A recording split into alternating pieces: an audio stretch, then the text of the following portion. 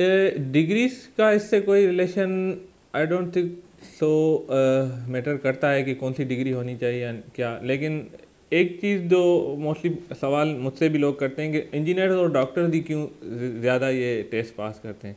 ये मैं इसलिए नहीं कर, कह रहा क्योंकि मैं इंजीनियर हूँ या और कुछ फ्रेंड्स हैं जो इंजीनियर और डॉक्टर मेरा जहाँ तक मानना है कि वो जो पढ़ाई करते हैं, जैसे मैंने पहले भी एक बात कही थी कि थ्रू आउट आपकी एजुकेशन कैसे है, वो बहुत मैटर करता है। आपकी स्कूलिंग कुछ लोग ऐसे होते हैं कि स्कूल कर लेते हैं किसी भी कॉलेज में एडमिशन ले लेते हैं, बाकी ग्रेजुएशन प्राइवेट साइड कर लेते हैं। यानी उनका पढ़ाई से जो है ना, एक ताल्लुक टूट जाता है।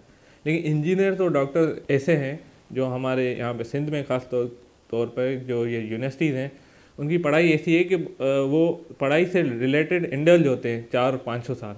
और उसके बाद एकदम से वो जो है ना, उनकी एक पढ़ाई का स्टेमिना इतना होता है कि वो ये चीज़ें जल्दी कवर कर जाते हैं। पढ़ाई करके ग्रेजुएशन करके और आप सिविल सर्विस की तैयारी करना बैठ जाते हैं तो उनकी जल्दी प्रिपरेशन हो जाती है। एज़ कंपेयर टू दोस्त जो वो प्राइवेट साइड करते हैं, सिर्फ़ एग्ज़ाम्स देने जाते हैं और पढ़ाई नहीं करते तो इस इस हिसाब से ये डिग्रीज मैटर करती हैं। बाकी कोई ऐसा नहीं है कि इसी फ़ील्ड में आपको डिग्री करनी चाहिए तो आप पास होंगे वरना नहीं। आ, ये मिथ भी आप कह सकते हैं और रियलिटी भी क्योंकि पहले कुछ ऐसे सब्जेक्ट होते थे जिसमें किसी साल आ, किसी ईयर में जो है ना आ, कोई सब्जेक्ट हिट होता था और किसी ईयर में कोई और। तो आ, इस पर आप नहीं रह सकते कि ये सिलेक्ट करेंगे तो इस साल इसमें मार्किंग कम आएँगी या वो।